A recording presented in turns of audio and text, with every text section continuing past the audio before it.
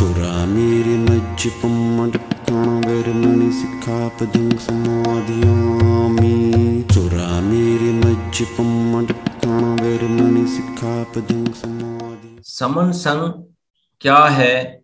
इसका उद्देश्य क्या है? ये सबके मन में, आप सबके मन में होगा कि ये क्या है, क्या नहीं, जो खासकर जो फ़र्स्ट टाइम जुड़े हैं। तो भाइयों समन संघ जो है, ये कह सकते हैं कि जुड़ने जोड़ने का प्रोग्राम है।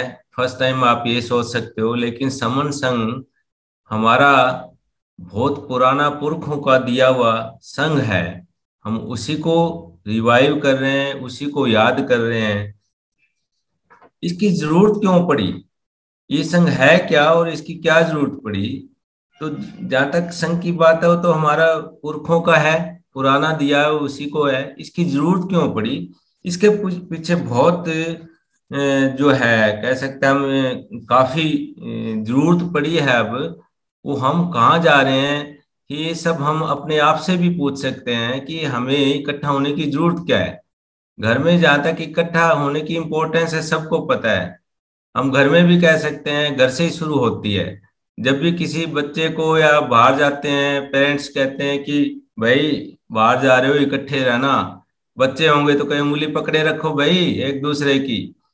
ध्यान, कहीं गुम ना हो जाए। तो ये संघ के जो साथ साथ फ़ायदे हैं इस तरह के, संघ में रहने से ही एक ताकत बनती है, ताकत मिलती है हमें। तो ये संघ की जो परिकल्पना है जो यहाँ पे हमारी जो लगातार पिछले सात, आठ महीने से जो है, संघ की समन संघ की जो मीटिंग चल रही है और इससे हमारा जो संघ है लगातार बढ़ रहा है। इसकी ये हर किसी के मन में है कि ये क्या नया संगठन है, नई पार्टी है या क्या इसकी ज़रूरत क्या है, क्यों बनी? अगर एक ही, ये पार्टी है या संगठन है तो बहुत सारे संगठन पहले भी है। तो लोग ना जल्दी से इन चीज़ों को समझते नहीं और इसको और लुक करते हैं। जब भी आप बताओगे, हम बताते हैं तो हमें लग, हमें यही, इसी तरह की उनकी शंकाएँ हैं। उनको, उनके रहते वो थोड़ा सा इससे आनाकानी भी करते हैं। जब उनको ये बताया जाता है कि एक बार जुड़ो तो भी वो उनको, क्योंकि उनको एक्सपीरियंस अनुभव ऐसा है कि बहुत सारे संगठन आ रहे हैं, अपना कुछ करते हैं, अपना उल्लू सीधा करते हैं और आम जनता का कुछ भला होता नहीं है। तो इन शंकाओं को हमें दूर करना चाहिए और वो दूर जब होगा, जब उनको थोड़ा हम कोशिश करें कि एक बार जुड़ के देखो, जैसे तैसे करके जो भी आपको हमें लगता है, जिस तरह। ये संघ जो है, हमारा जो वी द पीपल हम सब लोग जो संघ में कभी रहते थे, वो हम भूल चुके थे। उसे हम याद करवा रहे हैं, उसी को रिवाइव कर रहे हैं और इसे जानने का कारण सीधा है कि पिछले बहत्तर सालों में आज़ाद हुए हो गया तो हमारी हालत क्या है? हम कहाँ पहुँचे हैं? क्या संविधान बाबा साहब ने दिया था? संविधान के अनुसार क्या अब तक क्या काम हुआ है? और जो, अब क्या हो रहा है और क्या हुआ है? और क्या हमने खोया, क्या पाया? अगर इस पे जाएँ तो सिंपल सी बात है हमें, अगर अगर उद्देशिका भी मान लें इसकी संविधान की उसमें जो जो बातें हैं, न्याय है, बराबरी की बात है, भाईचारे की बात है, सर्विस डिग्निटी की बात है, इज़्ज़त, मान सम्मान की बात है, और आम आदमी के अधिकारों की बात है तो क्या उस संकल्पना के अनुसार संविधान अनुसार क्या हमें, हम जी पा रहे हैं? उसके अनुसार देश आगे बढ़ रहा है, राष्ट्र निर्माण की जो बात हुई थी, क्या राष्ट्र निर्माण हो रहा है? उस पे अगर ध्यान दे तो हमें पता चलेगा कि अभी हम कहीं भी नहीं खड़े हैं, खासकर क्या हम जाति और धर्म के नाम पे आज भी हमारे मनों में इस तरह की बात क्या राष्ट्र निर्माण हुआ? क्या राष्ट्र कोई देश के बाउंड्री से राष्ट्र नहीं बनता? राष्ट्र बनता है, राष्ट्र वहाँ के लोगों की सोच से, वहाँ के लोग कितने सुखी है, उनकी सोच क्या है, कहाँ उनका भाईचारा है, कितना वो एक दूसरे के प्रति या कितनी संपन्नता है, वहाँ की महिलाओं में कितनी जागृति है, क्या प्यार से रह रहे हैं, क्या सुखी हैं। अगर वो नफरत, घृणा फैला, फैली हुई आज भी जाति के नाम पे, धर्म के नाम पे तो क्या क्या उसका कुछ भी उद्देश्य पूरा नहीं हुआ है संविधान का, जो हमारे महापुरुषों ने, आज़ादी के दीवानों ने जो, जिसके लिए इतनी कुर्बानियाँ करी तो वो उनकी जो सोच थी, क्या उस हिसाब से बढ़ रहा है, नहीं बढ़ रहा? उसका कारण क्या है? अब अगर हम कारण जाने तो कोई भी संगठन या पार्टी जितनी सारी आज तक हुई है, उनका जो, उनके पदाधिकारी है, कह सकते हैं तो उनका उद्देश्य कभी भी ये रहा नहीं है कि हम अपने जनता को वी द पीपल के लिए काम करें। हमें बताते वो ये है कि जब भी आएँगे हमारे पास कि हम ये करेंगे, आपके लिए ये करेंगे, चाहे कितनी पार्टियाँ हैं, इलेक्शन के टाइम भी है या हमारे इतने सारे संगठन है, वो सारे के सारे बात तो वो करते हैं, लेकिन उनमें सब में दोगलापन है, उनका कई टारगेट या उद्देश्य कुछ और होता है, अपने डेवलपमेंट का होता है। खुद को आगे बढ़ाना, खुद के लिए स्वार्थ और जो कह सकते हैं हम मंच पद प्रतिष्ठा अहम अहंकार, उसमें इतने उलझे है कि वो अपनी बात के लिए लोगों को इकट्ठा करते हैं, उनको बताते हैं, कुछ है, करना उद्देश्य कुछ होता है। इतना दोगलापन हम सब में जो खासकर जो इस तरह का काम लेके आते हैं, इस तरह के संगठन और अपना उद्देश्य लेके आते हैं। हमारे आज की हालत क्या है? सारा कुछ संविधान के विपरीत चल रहा है। और वो तब चल रहा है, हम अगर कहें कि कम से कम इतने संगठन है, उनतीस लाख संगठन है आज की डेट में, और उसमें चार लाख संगठन जो है, वो बिल्कुल जो है एक्टिव है, सक्रिय है। यूँ कहे कि वो साल में दो, तीन, चार, दस प्रोग्राम ज़रूर करते हैं, हमारे से, हमारे पास आते हैं, आज हम बाबा साहब का परिनिर्माण दिवस मना रहे हैं, आज हम जयंती मना रहे हैं, हम फूले जयंती जो भी ऐसे ऐसे कार्यक्रम के नाम पे हमारे से पैसे लेके जाते हैं और उसके बाद मंच माइक के हिसाब से किसी को नेता को किसी को बुला लेते हैं। ऐसा भी होता है कि कुछ पैसे भी दे जाते हैं, अगर सरकारी तंत्र से कोई मंत्री आए तो वो पैसे ले गए और उसके बाद फ्री, उससे कोई बिल्डिंग भी बना लेते हैं, कोई हॉस्टल बना लिया, कोई छात्र कोई भवन बना लिए। लेकिन वो भवन बनाना भी वो क्या है कि एक आपसी लड़ाई का जो है ना, बंटवारे का ही एक साधन बना, बनता जा रहा है। वहाँ पे कोई समिति बनी या सभा बनी, उसमें अगली बार कोई आएगा, पद के चक्कर में अपना फ़ायदा सबके मन में अहम अहंकार होता है। उस चक्कर में वो फिर बंट जाते हैं। वो वहीं उसी संगठन या जो सभा बनाते हैं, उसी में आपसी लड़ाई इतनी खिंचातान चल रही है जगह जगह एग्ज़ाम्पल देखे जा रहे हैं कि जिनको कुछ टाइम हो गया, वहाँ पे आपसी मतभेद इतने हो गए कि वही लड़ाई हो जाती है और जो हमारी बिल्डिंगे हैं, जो कहने को कह रहे हैं कि ये हम बना रहे हैं, पैसा लगाया है, वो सरकार के हाथों में जा रही है। उन्हीं के एडमिनिस्ट्रेटर लगा देते हैं बाद में आपसी लड़ाई में ये। कोर्टों तक पहुँच जाते हैं लोग आपस में। ये सब हो रहा है। उनका किसी का ध्यान नहीं है कि हमारे बच्चों का सब कुछ नौकरियाँ जा रही है प्राइवेटाइजेशन जा रहा हो रहा है सब कुछ। स्वास्थ्य शिक्षा सारी सेवाएँ जो है इतनी महँगी हो, हो रही है। हमारे बच्चों को कहाँ पढ़ा पढ़ने को मिलेगा? स्कूल में ही इतना महँगा हो रहा है। स्कूली शिक्षा ही इनिशियल जो बहुत ज़रूरी है। स्वास्थ्य के लिए कोई हमारे कोई कॉलेज नहीं है। स्कूल नहीं है हमारे। और सरकारी तंत्र को नष्ट किया जा रहा है, स्कूलों को प्राइवेट बढ़ावा दिया जा रहा है। सरकार का काम शासन तंत्र जो है शासन व्यवस्था है, वो सरकारी व्यवस्था को मज़बूत करना होता है, न कि प्राइवेट व्यवस्था को। ये सब संविधान के विरुद्ध है, संविधान के अगेंस्ट है ये सब करना। ये और उसके अलावा हमारे सारे छोटे छोटे जो अधिकार है आम जनता के, उनका हनन हो रहा है सामने, किसी को बोलने तक दिया नहीं जा रहा, हत्या बलात्कार की घटनाएँ रोज आती है, कोई आवाज़ नहीं उठाता। किसी पार्टी या नेता से कभी आवाज़ नहीं आती कि ये क्यों हो रहा है? वो अपने मतलब के लिए चुप रहते हैं। जब उन्हें लगता है कि अब बोलना है, हमें फ़ायदा, तब बोलते हैं, वो उसी को भी बुनाते हैं। कोई हत्या बलात्कार की घटना होगी तो सारे पॉलिटिकल या संगठन उसका फ़ायदा उठाने के चक्कर में वहाँ जाते हैं। और उसी हिसाब से काम करते हैं। वो उसको रोकने या उसके भी आगे ना हो या क्यों हुआ, इस पे कोई नहीं बात करता। उनको देश ही नहीं होता कि ये सब जो उन्हें इसी में फ़ायदा है, ये सारी की सारी हम कह सकते हैं, बांटने वाली विचारधारा है, जिसको हम पुरानी भाषा में कहते हैं मनु स्मृति की भाषा है, जिसमें डिस्क्रिमिनेशन है, गैर बराबरी है, इतनी सारी रूढ़ीवाद के अलावा नफरत घृणा है, सब आपस में बंटे रहे। यही उद्देश्य उसका था और वही आज चल रहा है। आज भी वही चल रहा है। हम लोगों को भ्रमित है, भ्रम में डालते हुए हम उसी व्यवस्था, उसी सिद्धांतों को पालन करते जा रहे हैं। आपस में लड़ते हैं छोटी छोटी बातों पे। तो इसीलिए इसको ये सोचा गया कि इसको इसका क्या इलाज है? अब तक तिहत्तर सालों में क्या हुआ है? सब कुछ हमने प्रयास कर लिए इतने संगठन भी बने हुए हैं। और सारे के सारे कहते हैं कि हम बाबा साहब का मिशन दूरा वो पूरा करेंगे। महापुरुषों को, की जो सोच थी, उसको आगे बढ़ाएँगे। लेकिन हो रहा सब कुछ उल्टा है, रिवर्स हो रहा है सारा कुछ। तो इसके पीछे कारण जब जाना तो हमारे बहुत सारे सीनियर साथी हैं, जो काफ़ी टाइम से ये सब काम कर भी रहे थे।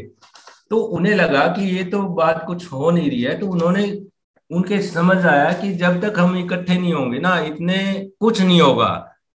इतने ऐसे ही चलता रहा, रहेगा। तो जितने संगठन और जितने पार्टियाँ भी कह सकते हैं, उनको इकट्ठा करने की कोशिश की गई। और वो सब आए भी, लेकिन वो, उनके मन में वही मनुस्मृति या जो सिद्धांतिक जो हमारे मन में है, वही बात सबके मन का एक स्वार्थ और अहम अहंकार उनके सबके मन गए कि मन में ये रहा कि जब हम इकट्ठे होंगे तो मैं क्या हूँगा जब भी भी जब हम इकट्ठे हो जाएँगे, मैं प्रधान कौन होगा? कौन सेक्रेटरी होगा जब इकट्ठे हो जाते हैं? या सीधी उनकी निगाह है कि ऐसे ऐसे सोचते हैं जैसे सब कुछ हो चुका, हो लिया, बस। कहेंगे कि प्रधानमंत्री कौन बनेगा? सीएम कौन बनेगा? मंत्री कौन? उनके मनों में वहाँ पहुँच रहे अरे भाई, तुम पहले इकट्ठे जो पाने की जो बात कर रहे हो वो पा तो लो, उसके बाद लड़ लेना। लेकिन वो मन में ऐसी बातें बिठा रखी है कि वो कोई तैयार नहीं हुआ। वो भी सब, किसी ने सब एक बार आए, बाकी कोई बात नहीं करी भी हम इकट्ठे हो जाए। तो अब हमें लगा कि हम तो इन सारे नेताओं और संगठनों के जो हैं, इनके चक्कर में, इनके व्यक्तिवाद और स्वार्थ और पद प्रतिष्ठा के चक्कर में हम मारे जा रहे हैं आम जनता। तो ये सोचा गया कि हम इकट्ठे होंगे।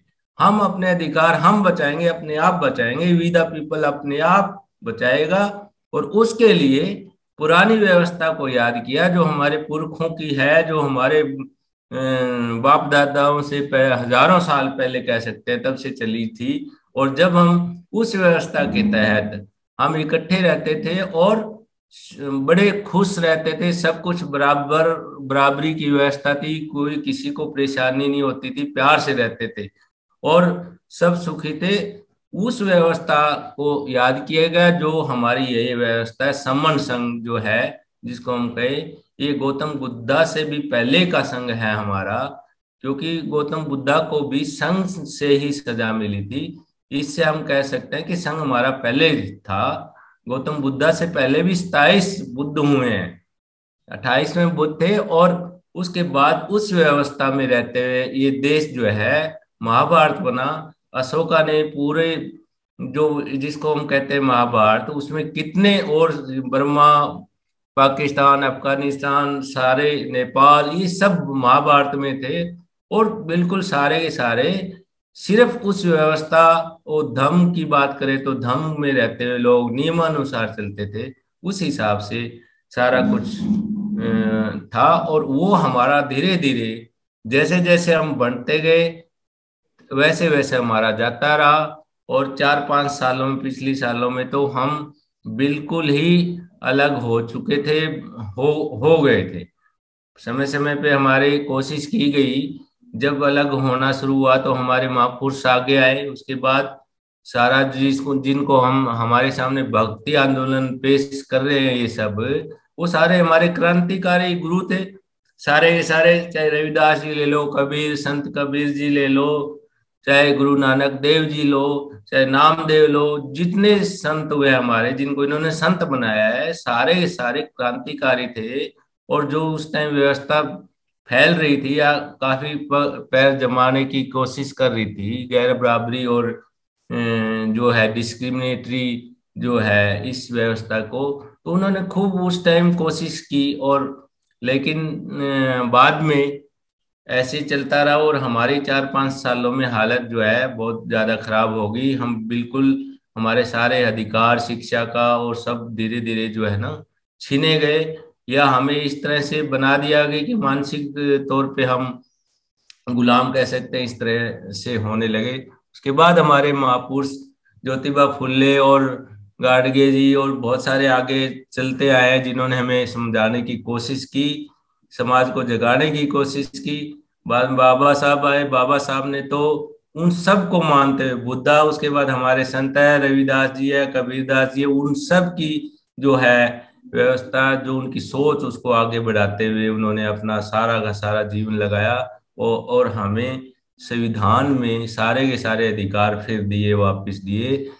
लेकिन उसके बाद क्या हुआ? हमारे जितने, हमारा जो ड्यूटी थी, हमने वो नहीं करी। जो आज फिफ्टीज या रिटायरमेंट पे है, वो उन लोगों की खास कर वो सोच सकते हैं कि उन्होंने पिछले पचास सालों में हमने क्या किया, उन्होंने क्या किया, हमें जोड़े रखने के लिए क्या किया, या बाबा साहब ने जो चाहा, उसकी तरफ़ हमने क्या ध्यान दिया, क्यों नहीं दिया नहीं दिया तो क्या किया जाना चाहिए, ये सब अगर सोचा जाए तो ये हमें इकट्ठा करने के लिए जितने हमारे, हमारा अपना जो है मंथन है तो हमें बहुत आगे आना चाहिए, खासकर फिफ्टीज और सिक्सटीज के, और युवाओं को, जो युवा है, उन्हें हमें प्रॉपर गाइड करे कि हमने जो गलती कर दी, या हमारे से जो गलतियाँ हुई, जिसके कारण हमारे हक अधिकार सारे वापस जा रहे हैं।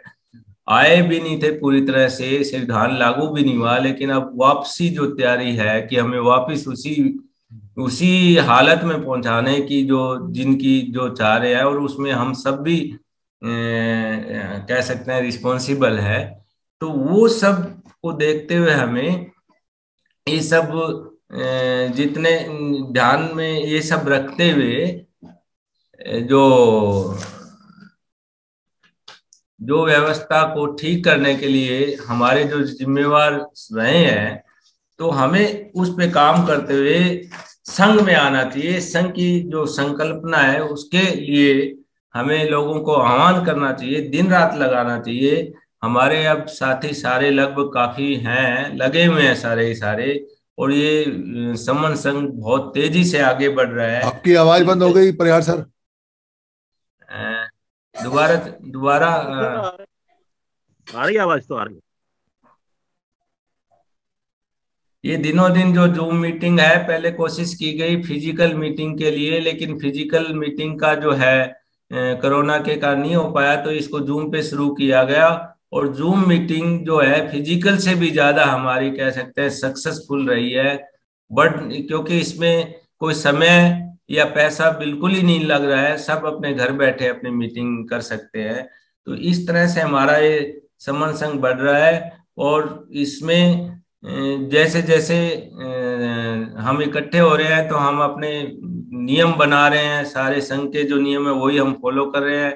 हम संविधान को फॉलो कर रहे हैं। संविधान को मान के उनके नियमों को और संघ के नियमों को और धम के नियमों को सबको हम मानते हुए आगे बढ़ रहे हैं और इसके जो थोड़ा एक्टिव काम करना चाहते हैं, वो उसको हम प्रवक्ता स्पोक्स बनाते हैं। इसमें एक ही प्रमोशन है और जो इस कंसेप्ट को समझ जाता है वो स्पोक प्रमोट किया, कर दिया जाता है और स्पोक्स की अलग से मीटिंग होती है। उसमें सारे नियमों के बारे में हम डिस्कशन होता है और आगे कैसे बढ़ना है, ये डिस्कस होता है। हमारे छोटे छोटे नियम है, अभी बनाए हैं कि इसमें, संघ में कोई छोटा, कोई सब समान है, कोई छोटा बड़ा नहीं है। सबका बराबर के अधिकार हैं। मंच, माइक, प्रतिष्ठा का कोई यहाँ बोलबाला नहीं है। सब एक एक साथ बैठते हैं, या तो सभी कुर्सियों पे बैठेंगे, या सभी नीचे बैठेंगे, कोई अलग कुछ नहीं है, किसी के लिए अलग से कोई कुर्सी नहीं लगाई जाती। सभी के बराबर के अधिकार है, संघ कभी पैसे नहीं इकट्ठा करता। जो खर्चा होता है, जिस तरह की भी कोई मीटिंग का, वो सब आपस में कंट्रीब्यूटरी होता है। और पहली बात यह है कि हम खर्चा करना ही नहीं चाहते, करते भी नहीं है, बिल्कुल। कम से कम पैसे में हम अपनी मीटिंग करते हैं। पार्क या कोई हमारे भवन है, वो सब देखते हैं, वहाँ इकट्ठे होते हैं, अपना खाना खुद लेके आते हैं सारे, वहाँ इकट्ठा करके खाना खाते हैं। जो इकट्ठा हुआ खाना, वो संघ का खाना हो जाता है। किसी को ये नहीं है कि ये मेरा है, मैं लाया था, ये लाया था, क्या स्वाद है, कुछ इस बारे में कोई सोच नहीं है, ताकि एक भाईचारे की भावना बढ़े। और जो अन्य कोई खर्चा किसी तरह का, मान लो कोई व्हीकल का है, वो भी कंट्रीब्यूटरी है। अगर कोई आदमी कार लेके जा रहा है, वो पैसे खर्च करके, उसके चार साथी हो रहे हैं, उनको पैसे बिल्कुल हंड्रेड परसेंट कंपल्सरी है उसको देने। अदरवाइज़ तो कल को फिर दोबारा बात करेगा तो वो तो अपना एक दिखाएगा कि मैं, मेरा खर्चा हुआ है। तो हमें ये मन में ही नहीं लाना, हमें मन को बदलना है। हमें स्वाभिमानी बनना है, अपना खर्चा खुद ही वहन करना है। मन में जब ऐसा रहेगा तो हम अपने आप को इस ढंग से डेवलप ही कर लेंगे। हम किसी का कुछ खाएँगे नहीं, मन में ऐसे रहेगा कि हम अपनी मेहनत का ही सब कुछ खाएँगे। इसी तरह इसमें किसी भी संगठन या उसको पार्टी को पैसे नहीं देना है। इससे बहुत खलबली मची हुई है संगठनों में, क्योंकि वो कहते हैं कि भाई संगठन कैसे चलेंगे? हम कहते हैं कि संगठन भाई पैसों की कहाँ ज़रूरत पड़ी है? और अब तक पैसे दिए जा रहे हैं हम। तुम तो उल्टा इससे हम क्या है, पोषण हो रहा है, संगठन बढ़ रहे हैं, और बढ़ रहे हैं, और बढ़ रहे हैं बढ़ते हुए संगठन इतने बढ़ने के बावजूद हमारे अधिकार जा रहे हैं। तो हमें पहले इन संगठनों को इकट्ठा करना है तो हमें उनको, उनका जो पोषण है, वो बंद करना पड़ेगा। तो इसलिए हमने इसको क्लियर एक नियम रखा हुआ है कि कोई किसी संगठन या पार्टी को पैसे नहीं देंगे। पैसे जब देंगे, जब वो इकट्ठे होके आएँगे। तो हो सकता है कि जब वो मजबूरी में भी इकट्ठा हो जाए, होके आए। अदरवाइज़ उनके जो भी सदस्य हैं, उनको हम समझाते हैं, पैसा देना बंद करो और संघ में आओ और आदमियों की हमारी हमारी मजबूती होगी मेजोरिटी होगी, संघ में आएँगे तो हमारे काम अपने आप होने शुरू हो जाएँगे। संघ में शक्ति है, संघ शक्ति है, यही हमारा पुराना वो है, हमारे महापुरुषों का कि इकट्ठे रहेंगे तभी जीतेंगे। तो ये सब को ध्यान में रखते हुए हमें इकट्ठा होना है और इकट्ठे जुड़ेंगे जीतेंगे। जब जब जुड़े हैं तब तब जीतते हैं। जब जब जुड़ेंगे तब तब जीतेंगे। जहाँ जहाँ जुड़ेंगे तब तब हम जीत जाएँगे।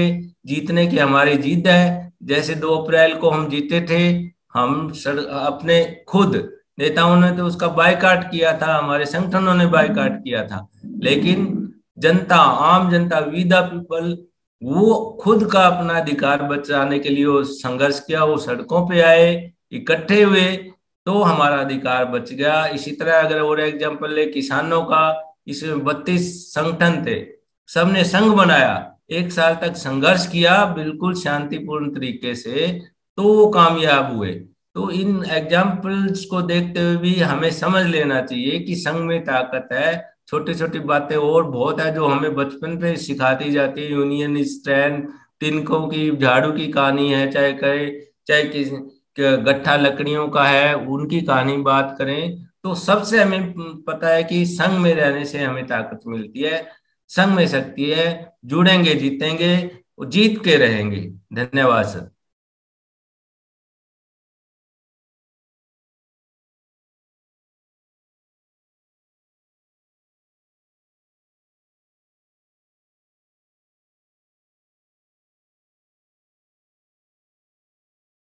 आप सभी से ये निवेदन है कि अगर आपको ये वीडियो अच्छी लगती है या बाकी वीडियो अच्छी लगी हैं, और आपको लगता है कि धर्म की वीडियो किसी को और मिलनी चाहिए या किसी को गिफ्ट में भेजनी चाहिए या किसी भाषा में कन्वर्ट करके आगे बढ़ानी चाहिए या प्रिंट में, किताब में छापनी चाहिए या इसकी जो ऑडियो है उसे निकाल के भेजना चाहिए या इसका किसी पार्ट को इस्तेमाल करना चाहिए तो आपको लिबर्टी है, आपको छूट है। ये सभी कॉपीराइट फ्री हैं। आप अपने फेसबुक पे, अपने पेज पे, अपने ट्विटर पे या अपने हैंडल पे या लिंक को कहीं भी शेयर कर सकते हैं, कहीं भी चला सकते हैं। आप यूट्यूब पे भी चला सकते हैं, अपने नाम से चला सकते हैं।